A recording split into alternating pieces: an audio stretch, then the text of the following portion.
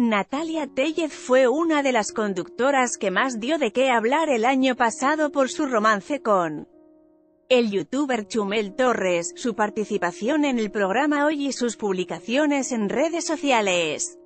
La joven demostró que vive muy positiva con o sin pareja y se ha mostrado disfrutando la vida en la playa.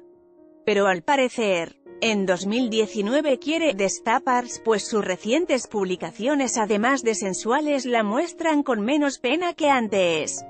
La neta. De Natalia, en 2018 me daba pena subirla pero, ya es 2019 y me sigue dando pena, voy buscando una. Lady y que encuentro cuatro. En el programa Netas Divinas mientras se encontraban hablando de otro tema, Natalia hizo un paréntesis para halagar la belleza de Paola Rojas, como relata la neta noticias, eres sexy al hablar. Dice algo muy serio y...